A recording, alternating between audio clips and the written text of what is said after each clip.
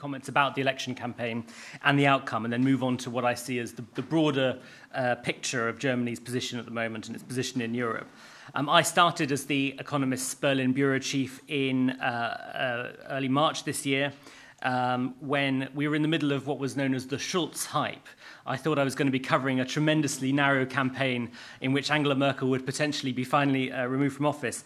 Um, it looked like Martin Schulz, who was standing as the candidate for the Social Democratic SPD, was uh, neck and neck with the CDU, having uh, surprisingly emerged as its candidate as a former president of the European uh, Parliament uh, early in the year. Uh, that, however, turned out to be a, a flash in the pan, a novelty effect. And what we had in many ways was a very conventional, very stable, very settled German election. Um, Angela Merkel ran under the slogan für ein Deutschland, in dem wir gut und gerne leben, for a Germany in which we live uh, well and happily, uh, and was anodyne, I think, to the point almost of parody. Uh, speeches in which she would um, uh, seemingly negotiate with herself whether she was really on the right or the left. Um, speeches in which she offered uh, pleasant living and uh, stable government and a, a good economy. And from Mr. Schulz, and I think this is part of the reason why the Schulz effect declined in the way it did, uh, he didn't offer that much excitement either. Uh, it was a very conventional social democratic campaign. He never really seemed to hit on themes that uh, differentiated him from, from Mrs. Merkel, which, as I say, is who is very much on the left of her party. Um, a TV debate between the two of them at the start of September was so harmonious that it was referred to more as a TV duet than a TV duel. Um, we saw at that event two centrist politicians exchanging reasonable comments about the technocratic management of a successful country. And so I think on the surface, to, to look at Germany today is to see uh, and to look at Germany during this election campaign, and particularly uh, to look at the contest between the two big German parties, the two parties capable of putting up a chancellor, was to see a country very stable, very settled, um, and living well and gladly, as Mrs. Merkel would put it. A country with unemployment, according to the Economist measures, of 3.6%, the fastest growth in six years, the lowest unemployment since reunification. 81%, according to one poll, of Germans feel uh, satisfied, not just with the economic situation generally, but with their personal economic situation. Exports are booming, and there's a government surplus of about 20 billion euros. All of which might make you think that Germany is a rather boring country today. But one of the things that I discovered having moved out and having started to look a little bit under the surface of things was that it's a very interesting country and one that, um, as I describe in the title of this talk, is in many ways in transition. Under the surface of the satisfied Germany of today, there are tensions. There's a simmering dissatisfaction that expressed itself among other ways, in the success of the Alternative for Germany party, a far, far right party that sprung out of um, opposition to the bailouts um, in 2013 and has since taken a more right wing anti Islam, anti immigrant direction. Moreover, in many of the media, including my own dispatches, uh, the big parties in Germany were criticized for not covering long term and difficult issues that do, in fact, face this satisfied and comfortable country. Issues like the integration of refugees, Germany's future in Europe, which bafflingly barely seemed to appear in the election campaign. Um, Germany's defense responsibilities, the crisis of the German car industry, new competitive industries, new competitive pressures, I mean. And I think this uh, sort of uh, misleading sense of stasis and contentment was borne out in many ways in the result. Partly, as I say, by the success of the Alternative for Germany, which almost got 13%, which is a, a, few points higher than many expected, but also the fact that the CDU and the SPD, the two, the two big parties of centre right and centre left, together got their lowest ever joint vote, vote share. Um, just 53%, down from 67% together in the previous election in 2013. Very striking in particular was the CSU, which is the Christian Social Union, or the sister party, the Bavarian sister party of Mrs. Merkel's CDU, which got just 38% in Bavaria, which is a party of, part of Germany which, where it's usually absolutely dominant. In both cases, the two big parties saw their votes fragment in many directions, going to the Greens, going to the AFD, going to the left, going to the Liberals, going to the non voter column. And so things are churning in Germany in a way I don't think I anticipated when I moved out to the country. And many of the beneficiaries of this churn were the smaller parties, all four of which uh, saw their vote share go up slightly or a great deal in this election.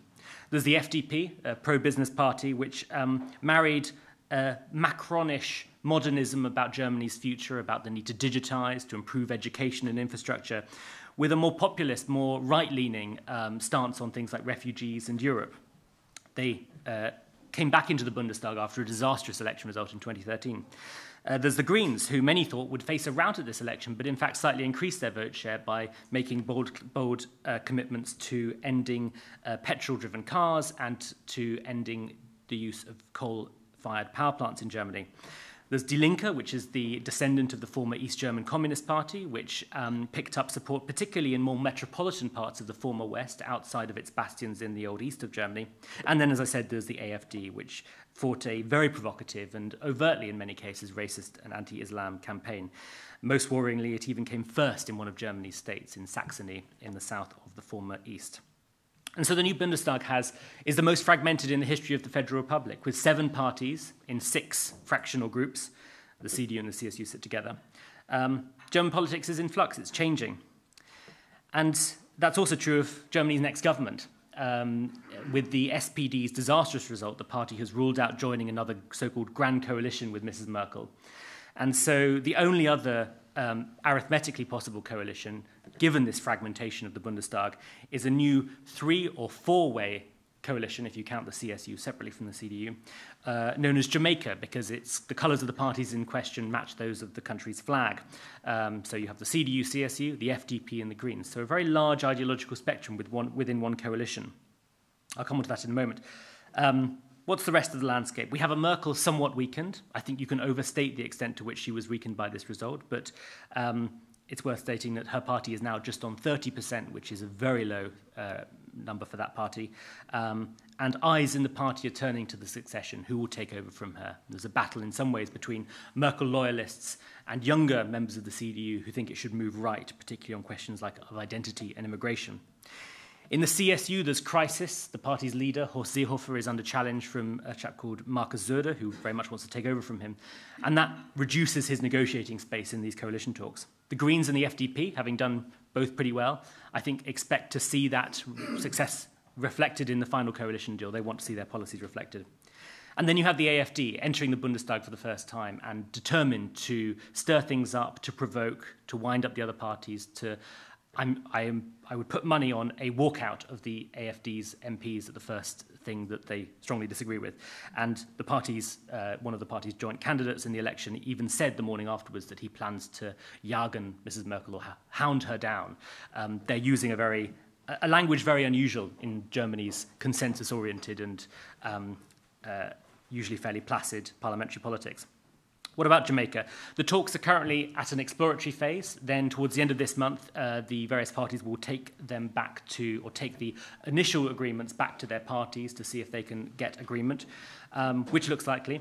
Uh, then they move on to the final stage, which is actually drawing up the coalition agreement. And it might not be until January that we have a new government in Berlin, which of course has implications for European discussions, European meetings in the interim period, not to mention issues like Brexit. Um, it looks initially like the problem or the difficulty of forming uh, this new Jamaica coalition, which has not existed at a federal level in Germany before, would be in bringing together the FDP, which, as I said, has moved in a more conservative, you might even say nationalist direction in the recent years, and the, and the Greens, which, whose membership goes quite a long way to the left of, the, of, of politics. But as predicted, if I may say so, in The Economist, um, the two parties are actually getting on all right. Um, it was always clear that the battles between them during the election campaign were largely for show, and um, I, I, I understand that the leaders, the, one, the two, two main figures in the two parties, actually refer to each other as du, or the informal pronoun, which I think it, it hints at the, uh, the, the, the private level of um, sympathy between the two. No, the problem with, this, with, the, with forming a Jamaica coalition is much more the CSU, which, as I say, has been really beaten back in its uh, home state.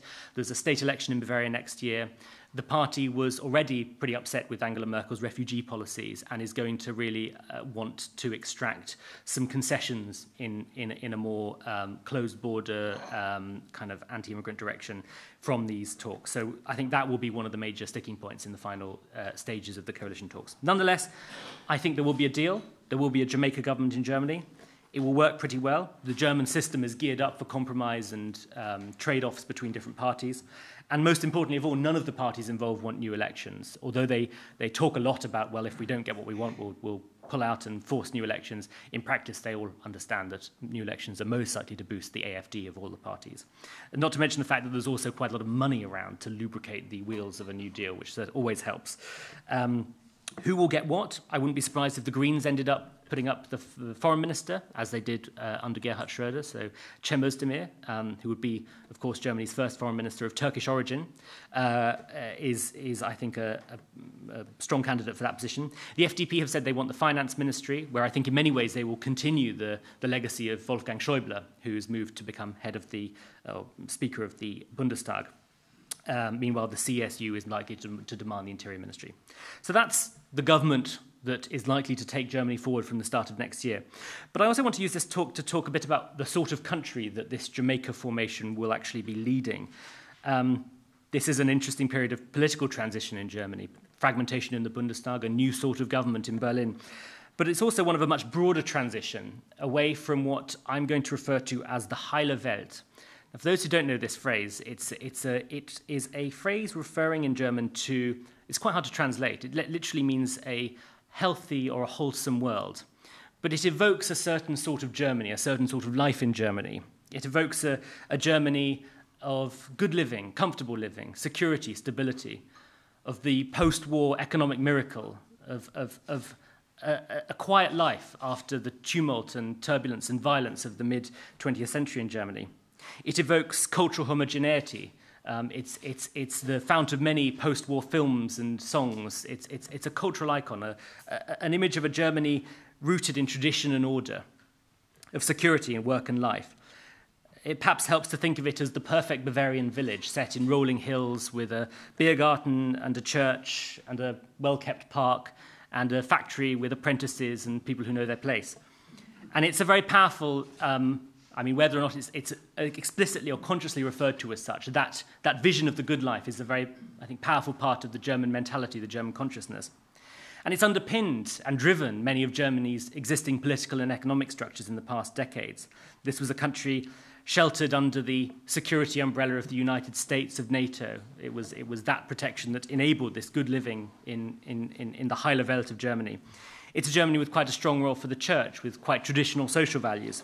It's a Germany that has quite a uh, homogeneous and settled society with stable and relatively egalitarian economic structures, much of what we think of as distinctive about the German industrial model, the apprenticeships, the co-determination in workplaces, the collaborative relationships between unions and bosses, um, the uh, companies owned by generations of the same family slightly tweaking every so often a, a, formula that has worked very well down the years and doing it very well.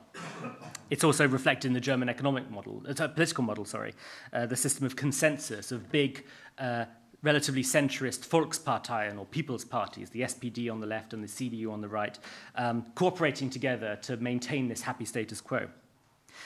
Now, what I observe in Germany today is not that this Heile Welt is disappearing or that it's in many ways becoming any less attractive to the average German voter, but the many of those structural elements that underpin it that I've just described are being challenged or being changed or, or in some sort of evolution.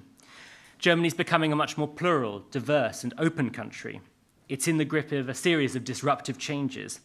The bracing winds of the wider world are making themselves felt more in the comfortable Bavarian village and demanding more of its inhabitants outside of their own country. And I think it, this trend can be described on various fronts. The first is, of course, German society, which is becoming much more fragmented.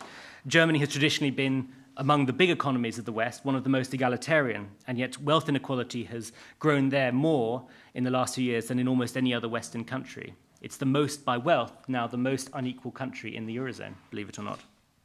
40% of German earners have not seen any real wage increases since the late 1990s. The country's current competitiveness, driven by the in the view of the economists, very wise reforms of Gerhard Schröder in the mid 2000s, um, has come slightly at the cost of, of, lo of, lower wages and stagnant wages for many German workers. I think this, this is very intimately bound up with that simmering dissatisfaction I described earlier in this talk. There's a growing gap that I think many of us in the Anglo Saxon world are quite familiar with between the successful, booming cities and uh, more rural areas and small town areas that feel left behind. This, remember, in, in Germany is still quite new and quite different and quite unsettling for many people. This, this opening up of German society is happening in more positive respects. It's becoming a more relaxed and tolerant country. Having been one of the more socially conservative countries in, in Western Europe, it's now introduced gay marriage. It's to those who were there during the rather stuffy Kohl years, it's a much more free, free, free-going, um, easygoing place. The labour market for a long time very much geared around the idea of a male breadwinner and a, woman, and a female homemaker, is evolving and becoming more open and more gender balanced. Meanwhile, the very meaning of what it is to be German is in, is in, uh, uh, is in flux. It used to be unofficially rather ethnically based until the until the late 1990s the whole immigration the legal structure of the immigration system was built around the assumption that most immigrants were people with german forefathers coming from eastern or central europe that's changed. You only have to look at how the, the shades of, uh, the, the, of, skin color and the surnames of the German national football team have changed, even in the time of Angela Merkel's uh, chancellorship. If you look back to 2006, when Germany hosted the, um, uh, the World Cup, uh, the German football team, I think, had almost all German surnames. Now it's a, it's a panoply of uh, German surnames, Turkish surnames, Asian surnames.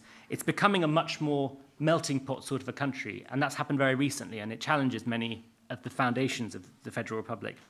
Germany's economic model is in flux too. This, this traditional um, uh, model based on the st steady incremental change in certain industries that Germany does very well car making, machine tools, pharmaceuticals. That still works very well, and it's reflected in those impressive statistics I listed at the start of this talk. And at the same time, those are also industries that are going through revolutionary transformations in a way that I don't think they have in, in, in decades. Just think of the car industry, the shift to electric cars, for example, where the German car makers have been rather left behind and have made a very bad bet on diesel engines. Uh, the, the shift to self-driving cars and what that means about the internet infrastructure you need in terms of the, the physical infrastructure you need. Um, manufacturing is increasingly melding together with services, which, is, which are less of a German strength, melding with digital consumption, again, an area where Germany is lagging behind. And so to maintain its strengths in its traditional areas, Germany is going to have to change, I think, in a way it hasn't had to before, in a more radical and, and disruptive way. The very export success of Germany is in question. It's done very well in the last few years by making things better that the rising economies like China either couldn't make themselves or couldn't make as well uh, that's increasingly changing. Just look at the state of the, the Chinese car market, the Chi Chinese uh, um, uh, machinery market is becoming much more sophisticated. Um, it's interesting to see that German firms are starting to outsource higher up the value chain. They're outsourcing more high-skilled work. It's not just the, uh, the manual labor of physically connecting parts of machinery, but they're outsourcing quite skilled work now to particularly Central European countries with good education systems and much lower labor costs like the Czech Republic, Poland, Slovakia, and so forth. The manufacturing share of the German workforce is, is believe it or not, falling, although it remains higher than, than it is in other, in other countries. And indeed, this whole workforce, the, the post-war baby boomers, are about to retire the largest age segment in Germany is now the 55 to 60 year olds. the next 10 years, a huge number of those who built Germany's current prosperity are going to retire, and the dependency ratio will change dramatically.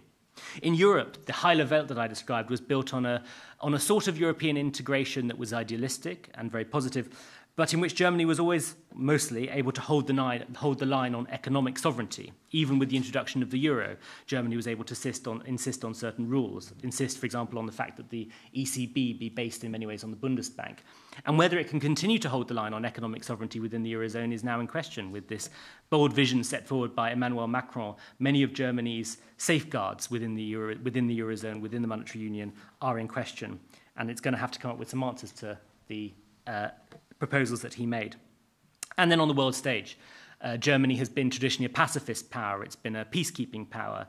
But its stature and its size and its wealth at the moment are causing, not to mention developments like the election of Donald Trump and his demand that Europeans pay more into NATO and do more for their own security, are demanding things of Germany that the country's politics, I think, are not comfortable with. Um, that means spending more on defense, a subject which is extremely controversial in Germany. That means um, integrating with nuclear powers like France. It means deploying German troops into harm's way in a way that hasn't happened in the history of the Federal Republic to date. And then, of course, there's politics, as I've already discussed, uh, the rise of a more antagonistic, less consensus based, um, more confrontational sort of politics. And so, all these different areas, where you look at society, you look at demographics, you look at the economy, you look at foreign policy, you look at Europe, the, the stable, settled Germany that I think many, in which many Germans are living well and happily, is in transformation and demands things of, this, of, of, of those underpinning structures that I think um, will make the next few years probably the most demanding on Germany and its leaders since reunification. And so that's, that's the country which this new sort of government, this Jamaica coalition, takes over. And I think when it does so, it's going to have to take over a country that Mrs. Merkel, in her various, in her three governments to date, has in many ways uh, prepared for these changes, has, has guided into this period of transition, but in some ways has not. On the positive side of the balance sheet, Mrs. Merkel, in her 12 years as Chancellor since 2005, has prepared Germany for its future with things like uh, high levels of research and development spending, a, a strong priority to her as a, a trained scientist by background. She's presided over a more relaxed and modern society. That is partly her doing, I think we can say. For exa- I mean, she may not have driven it always, but she never stood in the way of her social democratic coalition partners when, for example, they wanted to introduce quotas for women on corporate boards, when they wanted to end conscription, when they most recently wanted to introduce gay marriage. She's let that happen. Um, her own leadership style may be bound up with that. Germany has, for the last few chancellors been governed by very macho, uh, masculine sorts of leaders. You think of Helmut Kohl, you think of Gerhard Schröder, the tub-thumping sort of leadership. Merkel's brought a more subtle and in some ways more sophisticated sort of leadership to the chancellery. And I think that that will be one of her legacies to have changed the tone in which the chancellorship is the power of the chancellorship is exercised. Her refugee gambit, we can discuss the, the merits and the demerits of the way that decision was made and the way the politics of it were handled, but it has speeded Germany on its way towards what they refer to as an Einwanderungsland or, or an immigration country, the sort of country that people move to and integrate into. And it has to be said, although I think the demands on Germany from the world stage do strain its politics, she has presided over a Germany that is doing more in the world already. Uh, she led the push for sanctions on Russia over its intervention in Ukraine, for example. German soldiers are now deployed in Mali alongside the French in Afghanistan, uh, and they are now the framework nation for NATO in Lithuania. Um, German soldiers actually on the border of Russia, well, Kaliningrad, uh, which would have itself been very hard to imagine not so long ago. So Germany is doing more. On the negative side of the balance sheet uh, for Mrs. Merkel, um, it's certainly true that some of the strategic thinking about the challenges that I've described been, has, has been absent. Um, under the debt brake, which limits government's ability to invest, um, the uh, quality or the value of German infrastructure has actually been falling in net terms since 2012. Germany doesn't spend enough on those still very impressive railway lines and roads and autobahns and, and so forth. Um, there are increasing, uh, there's increasing anecdotal evidence of schools with leaky roofs, of bridges over the Rhine having to be shut, of trains having to be run at slower than uh, optimal speeds uh, because of structural problems on the line. Um, as I say, Germany's still got a very admirable infrastructure, but it's getting worse. And, and for a country that needs to stay competitive, that's, that's a bad thing. The best example of that is the digital infrastructure, where Germany is really a long way behind a lot of Western Europe. It has the 28th fastest internet in, in the uh, world and is behind a lot of countries much poorer and much less economically developed than it. Its services industries are much too over-regulated. Um, labour market, labour market participation among women is still extremely low for a Western European country. The car industry, as I've already mentioned, is in crisis. It not only put a bad bad bet on diesel engines, but has now been caught up in emissions uh, test cheating scandals um, and seems to be falling behind in an increasing race to, uh, towards electric and self-driving cars, um, notwithstanding its, its formidable competitiveness in the, in the uh, high-end sector nonetheless. Uh, Mrs. Merkel's refugee gambit may have been um, bold, but it was also uh, ambiguous in a, very, in, a, in a fashion very characteristic of her leadership. How long are these people meant to stay for? Who actually has a right to be in Germany? Because remember, many of the people who've come to Germany, many of them are war refugees from places like Syria, but there's also lots from the Balkans or from North African countries where the the humanitarian case for asylum is questionable. And so there is a debate still to be had, which Mrs. Merkel doesn't seem very keen on having, about who precisely should be joining this Einwanderungsland, who should be joining this country of immigration. And I think perhaps most of all, there's been a reluctance on behalf of Germany's entire political class to confront the country with the new demands on it on the world stage. And here I would single out this, the SPD for criticism. The party fought a very opportunistic campaign in this election, which tried to portray Mrs. Merkel for merely uh, agreeing with the aspiration of 2% of GDP spending on, uh, on, on defense in line with the NATO targets. He characterized that as making her a poodle of Donald Trump Um, and I think this willingness to play politics with, with the, the growing demands on Germany, with Germany's responsibilities in the continent of which it's so inextricably a part, I think is, is a concern and needs to change. I mean, I've mentioned the Lithuanian deployment, a, a very an ambitious and forward-looking decision by Germany's political class. This is a deployment that, as important as it is in geopolitical terms, is not actually familiar to many Germans. And you only have to look at polls to show that, that, that show that the proportion of Germans that would support military action uh, to defend a fellow NATO member in the event of Russian intervention or interference is lower than in almost any other membership country in the alliance. And so you have a country that's in many ways been prepared for the challenges, for the, for the transition that I've described, but in many ways still has more to do. And I think the best example of that of all, perhaps, is um, the skepticism about the vision set out by Emmanuel Macron. My, my objection is not so much uh, to Germany's doubts about any particular one of his proposals, but the, um, the, the assumption that Europe's doing pretty much okay, thanks. I think it's too easily forgotten in Berlin that France came not so far from a Le Pen presidency last time and might come quite close again, not to mention concerns about Italy with its election coming up this year. And so it's a country in need of, I think, a bit more strategic thinking. And the test for Jamaica, the test for this new government, is how much does it maintain what Merkel did right or what she's done right and correct for what she's done wrong? How does it prepare Germany for a time after, uh, either after Heile Welt or a, a time when the circumstances of Heile Welt have changed? Um, to just conclude, I think um, the prospects are better domestically than they are in foreign terms. I think the FDP, the Liberals, have uh, rightly been ambitious about digitizing the German economy. Um, Christian Lindner, the party's leader, described Germany's current success to me as a prosperity illusion, which I think is a little bit strong, but I think is, it, it shows a, a welcome appetite for change and a, an appetite for renewal. I think the Greens have some very bold and interesting ideas about accelerating the shift to green energy, green-driven cars in Germany, um, in in ending Germany's use of coal, they uh, respond to another rather awkward truth, which is that seven of Europe's 10 most polluting power stations are in Germany. So, so there's, there's, there's a lot of positive energy, I think, on, on the domestic front, not to mention the fact that they, the parties all generally agree on the need to invest more, the need for some uh, some well-targeted tax cuts. But I think on the world stage, I'm a little bit more pessimistic. The FDP has been extremely sceptical about practically everything Mr. Macron has said and have ruled out an awful lot of the, um, uh, the ideas that he's put forward.